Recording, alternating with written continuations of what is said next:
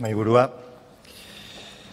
Berriki, berriki, Bartzelonan izan gara, hainbat legebiltzarkide, subiranotasun teknologikoa eta eskubide digitalen inguruko jardunaldi baten. Buru jabetza teknologikoaz, katalanek ikusentzunezkoetan duten estrategiaz eta hizkuntza eskubide digitalez asko ikasteaz eta egiteko zenba dugun jabetzeaz aparte, sentsazio eta evidentzia askorekin etorri gara. Katalanaren bilakerarekin, kezka handia dago Katalunian, hizkuntza bir sortu eta hiztun komunitatea berrosatzeko tresna berrien falta somatzen da, Katana, katalanaren osasun adirazleak okertzen ari dira, eta katalana emergentzia linguistikoan dagoela entzun diegu aditu eta eragile askori. Testu inguru honetan etorri dira katalanaren murgiltze ereduaren aurkako epaiak eta herrialde, herrialde katalanetan katalanaren hizkuntza eskakizunak mugatu eta ezabatzeko PP eta Voxen ekimenak. Katalunian eta Euskal Herrian hizkuntza biziberritzaren aro berri bat ireki eta eskala handiko jauzi bat martxan jarri behar dugunean etorri dira gure hizkuntzen biziberritzea gereldi arazi asmo duten erasoak. Hizkuntza eskakizunen sistemaren aurkako epaiak, hizkuntza politikan autogobernu egatzeko saiakerak eta geure hizkuntzak bazterreko geratzeko marko ideologikoak. Orain aste batzuk, Kika Monarriz soziolinguistak, zenbatek egingo du Euskaraz 2008 garren urtean, artikulua argitaratu zuen berrian. Artikuluan, katalanaren bilakararekin dauden kezkak ekartzen ditu eta Euskararekin erkatzen ditu. Audio, Gaia serio heltzeko garaia da. Egungo ordezkapen prozesuak oso azkarrak direlako. 2008 garren urterako, geratzen diren bi belaunaldietan gure hizkuntzak ordezkatuak izateko arriskuan daude. Ez da kasualidadea Katalunian katalana biurgunean dagoela esatea eta guk bidegurutzaren irudia erabili izana Euskarari daukionez. Artikuluan ere esaten du. Askotan aipatu izan dut handia dela gaur egungo egorara iristeko egin den bidea. Eta bizi dugun bidegurutze honetatik ateratzeko baldintza soziopolitikoak baditugula. Baina atzera egiteko arriskuak ere handiak direla globalizazioaren, joera politiko homogene izatzaileen, oldarraldi judiziala eta komunikazio era berrien eraginez. Kike amonarri zen jarduna eta praktika soziolinguistikoa ezagutzen duen edonork, badaki ez dela sekula katastrofismoan kokatu. Baikortasun kritikoaren eta eskortasun aktiboaren tarteko geruzetan kokatu da gehiago. Guere bai.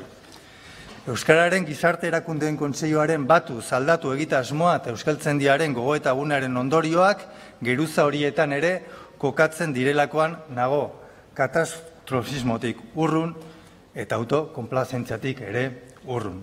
Eta noski egon gara orain baino okerrago, badakigu, irakurri dugu Juan Mari Torrealdairen obra eta bizi izan gara bizkar soroetan, baina gaur egun prozesu sozialek duten abia da ez dugu sekula ezagutu eta orain arte gure balio sistemak, naziotasuna eta hizkuntza erreproduzitzeko nagusi ziren interakzio eta komunikazio sistemak ezbaian daude inoiz ez bezala. Eta hau guztia Euskararen aurkako eraso, erasoaldi judizial, mediatiko eta diskursibo handi baten erdian. Hemen tamalez, PP eta Voxek herrialdetan katalanetan egiten dutena, epaiek eta espero ez genituen eragileek egiten dute. Beraz, hizkuntzaren osasuna neurtzen duten adirazleak. Komunikazio paradigma aldaketak eta testuinguru soziopolitikoaren bilakaerak ongi irakurri behar ditugu eta behar diren erabakiak hartzea ezinbestegoa da. Erabaki menez, ausardiaz, asmoz eta jakitez. Alik eta adostasun zabalenak josiz noski, baina Euskararen berreskurapenak ezinbestean behar dituen baldintzak ulertu geure eginez eta sustatuz. Alik eta adostasun zabalenak josiz noski, baina Euskararen berreskurapenak behar dituen gutxieneko, gutxieneko baldintzetatik gora. Izan ere, eta mozioan diogu, kezka handiz ikusten ari gara Euskara lan eskubideekin, talentua erakartzearekin, eta koesio sozialarekin kontra jartzeko etengabeko adirazpenak eta argudioak. Langileak elkarren kontra jartzea, eskubideak talkan daudela iradokitzea, edo hizkuntzen berdintasuna diskriminatzaia dela esatea eskuin muturraren marko ideologikoa da. Eta hori elikatzea, arduragabekeri handia da gure ustez. Epaiei lana erraztea. Recorrer hacia un bilingüismo real y universal es el punto de partida para la igualdad lingüística. No podemos aceptar que el castellano sea el único idioma de conocimiento obligatorio y, por tanto, de uso generalizado. No existe el derecho universal a trabajar en la Administración y se debe elegir a aquellas personas que mejores competencias y aptitudes demuestren. Esta lógica, comúnmente aceptada, tiene solo una excepción, el euskara. Es clarificador ver que quienes están liderando o apoyando la batalla contra los requisitos lingüísticos celebren haber apuntalado los modelos lingüísticos que no garantizan el conocimiento de las dos lenguas oficiales. No es de justicia hurtar a la ciudadanía la oportunidad de aprender las dos lenguas del país y después tachar a los requisitos lingüísticos de discriminatorios. Salvador ya en su discurso de investidura, reclamaba el catalán como lengua de cohesión y columna vertebral de la nación catalana. Columna vertebral de la nación catalana. Nik, iaren euskal homologoei, ez diet eskatuko euskara euskal nazioaren bizkarrezurra dela esatea. Baina gauza bat bakarrik eskatu nahi dizuet.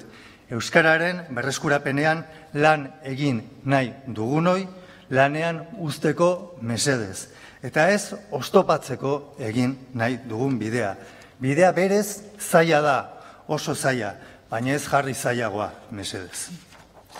Aste honetan, generalitateko Xabi Bila hizkuntza politikarako kontseilariaren agerraldi bat ikusten egona ez parlamentean egin berri duena.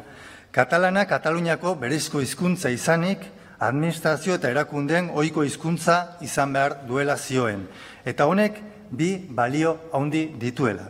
Lehena, balio instrumental handia duela. Izan ere, administrazioan lan egiteko katalana edo euskara jakitea beharrezkoa ez bada, hizkuntzaren balio soziala jetxi egiten da eta hizkuntza ikasteko motivazioa apaldu. Eta badu beste balio bat, balio simboliko deitzen dena. Erakunde publikoak eredugarriak izan behar dutela, badakigu, baina baita praktika lingustikoetan ere.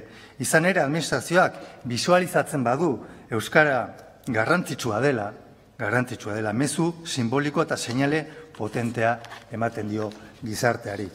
Badakigu zein garrantzitsua den hemen bizi diren eta etorkizunean gurera bizitzera etorriko diren Euskal Herritar guztiek ikustea hemen bi hizkuntza ofizial ditugula eta bi hizkuntzak ezagutzeak integrazio aukerak handitzen dituela. Beraz, zen seinale instrumental eta simboliko ematen ari gara administrazioan lan egiteko edo gobernuan egoteko euskara ez dela beharrezkoa esaten eta ikusterazten badugu. Euskara berezko hizkuntza eta hizkuntza ofiziala denarren ez da ohiko hizkuntza administrazioan. Ofiziala gara de jure, legez, baina de facto praktikan euskara ez da ofiziala eta hau anomalia instituzional eta legal handi bada. Eta hau da berriki Europako kontseiluak praktikan esaten esaten duena. Mozioan diogun bezala 2023ko azaroaren bian ganbera honetan bertan azoren lauan euskaldunatik aterazen manifestazioarekin bat egin genuen eta bertan izan ginen EAJ, EH Bildu eta Sumarreko hainbat ordezkari, e, ordezkari oldarraldi judiziala salatuz. Eta uzioen idurrez Isabel Euskararen gizarte erakunden kontseiluko idazkari nagusiak. Hizkuntza politiketan jauzi bat egitea ezinbestekoa da etorkizunako erronka guzti hauei behar bezala aurre egiteko. Jauzi bat behar da hezkuntzan, ikusentzunezko eta kultur ekoizpenerako baliabideetan, eremu sozioekonomikoaren lanketan, euskal herritar berriei behar bezalako hizkuntza harrera egiteko baliabideetan. Eta justu, tresneria berri horren beharra hain nabarmena denean, orain artekoak ere, orain artekoak ere, ebasten ari zaizkigu. Orain artekoak ere ebasten ari zaizkigu, eta hori da jaularitzaren zerbitzu juridikoek eta txostenek diotena. Datu batzuk amaitzen joateko. Jaularitzaren, jaularitzak argitaratutako azken inkesta soziolinguistikoaren arabera, amasei eta hogeita lau urte bitarteko gazten euneko irurogeita magusta, Euskalduna da. Eta ia guztiek, eta ia guztiek ulertzen dute Euskara. Amasei urtetik gorakoen euneko irurogeita maustak, erritarren euneko irurogeita maustak, uste du administrazioan lanpostua lortzeko Euskara eta gaztelania jakitea nahita ezkoa dela. Euskararen erabilera sustatzearen aldeko jarrerak amabi puntu egin ditu azkeneko urteetan, maksimo historikoetan gaude. Eta azkeneko ikerketa soziolinguistikoak diote, Euskal iztunek aukera dugun guztietan Euskeraz egiten dugula erabilera oso altua dela, dauden baldintzekiko eta ezagutza egoerarikiko.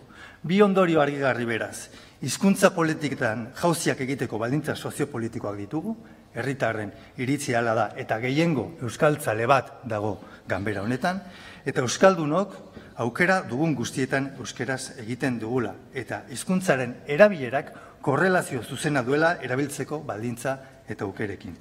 Euskera asko erabiltzen da eta hizkuntza politika ausartagoak nahi dituzte herritarrek.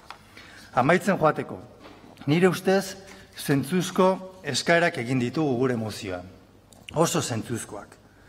Hauzitegi eta epaitegi desberdinetatik datozen sententzien aurrean Euskal Administrazioa eratzen duten erakundeak babesten ditugu. Autogobernuaren eta hizkuntza politika garatzeko eskumenen aldeko defentsa irmoa egiten dugu hizkuntza eskubideak babesteko eta hizkuntza politika berdinzalea garatzeko, garatzen jarraitzeko konpromisoak hartzen ditugu, eta hizkuntza politika berriari segurtasun juridikoa eman eta berdintasunean, berdintasunean oinarritutako euskararen estatusa lortzeko bidea elkarrekin egiteko konpromisoa hartzea ikusten dugu. Eta guztia posible zen eta posible da edukia nire ustez ez da arazoa, baina hemen badakigu zein izan den arazoa. Euskararen biziberretzaren aro berriak, ausardia eta erabakimena behar duela esan dut askotan, baina betorik gabe izen behar du.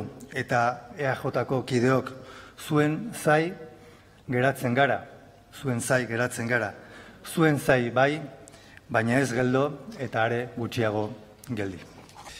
E, Hernandez jauna Europako hizkuntza gutxiagotuen e, gutuna aipatu duzu e, lehen puntuan eta gutunaren zazpigarren artikuluak esaten du hizkuntzak sustatzeko ekimenak ezin direla inoiz diskriminatzaileak izan, hori esaten du Europako gutunak. Beraz, e, diskriminatzaileak jotzen dituzten sententziak ontzat jotzen badituzu, esan nahi du, ba, puntu horrek, zure puntu horrek, zure mozio guztia esestatzen duela, ja, e, de facto, lehenengo puntutik. E, derrei gortasun indizea aipatzen da. Orain arte, orain arte, interpretazioa zen derrigortasun indizea gutxienekoa zela. Eta hori amarkadatan gertatu da. Eta orain, egonda irizpide aldaketa bat, judikaturan, egonda irizpide aldaketa bat, eta ez da judikatura progresista bat daukagulako ez da. Ez zaite Komisionesek eta UGTek behin beineko langileak egonkortzeko, automatikoki egonkortzeko aukera zaukaten gobernuarekin, Espainiako gobernuarekin. Eta ez zuten egin. Eta orain hautaketa probak genditu bar dituzte eta euskara da arazoa. Euskara da arazoa orain. Nork jarri ditu langileak tesitura horretan, Blasi jauna. Nork jarri ditu. Eta erronka bat e, botako, botako dizut. E, urrengo hilabeteetan lege bat aurkeztuko dugu. Hirugarren aldiz, zebi aldiz aurkeztu, aurkeztu dugu. E, e, Euskara jakitea eskubide subjetibo universala izan dadin, doakoa eta denbora egon dadin. Aurkeztuko dugu eta ea hirugarrenean baiezkoa ematen, ematen duzuen. Eta Hernandez jauna, zaroaren lauan, oldarraldi judizialaren manifestazioan sumarre egon zen. Bat egin zuen e, manifestazioarekin. Ez dakit konsensutik kanpo zein geratu den Horen goneta. Eta, e, bueno, ba, eusko alder jeltzareari, esan nahi dio, ba, osoko zuzenketa zuen buruari aurkezten dio. EAJak, EAJari aurkezten dio, osoko zuzenketa gaur hizkuntza politikan e, e, e, autogobernu defendatzeari, osoko zuzenketa oldarraldi judiziala salatzari, osoko zuzenketa e, orkesten jozu eta hizkuntza eskakizunen sistemari segurtasuna emateari ere bai. Eta, bueno, katemotzean zaudete, katemotzean, eta katemotzean zaudenean, ba, zaila da jauziak ematea. Asko jota, urra txiki bat. Eta gaur blasiren diskurso entzun da, urra txiki hori ere, uste dut ez ere zean geratuko dela, eta gogoratu aurrera ez egitea, atzera, atzera egitea da. Amaitzen joateko.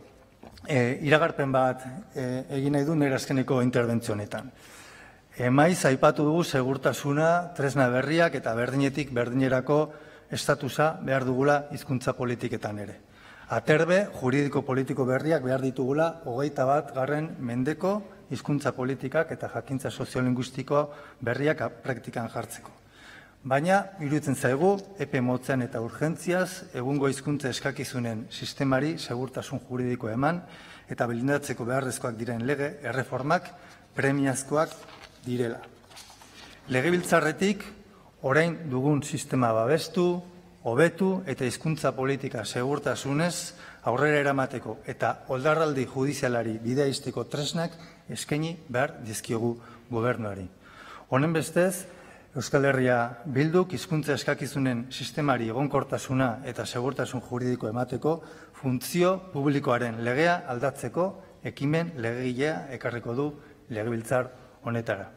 Berriz diot, Euskal Herria bilduk hizkuntza eskakizunen sistemari egonkortasuna eta segurtasun juridiko emateko funtzio publikoaren lege aldatzeko ekimen legegilea ekarriko du legebiltzar honetara. Geldirik geratzea ez delako aukera bat eta hizkuntza politikan jauziak egiteko baldintzarik onenak eskaintzea dagokigulako ekimen legegilea hartuko dugu. Arduraz eta erabakimenez. Karrik asko Astiria jauna. Mistoa Sumar, Hernández jauna, zurea da hitza.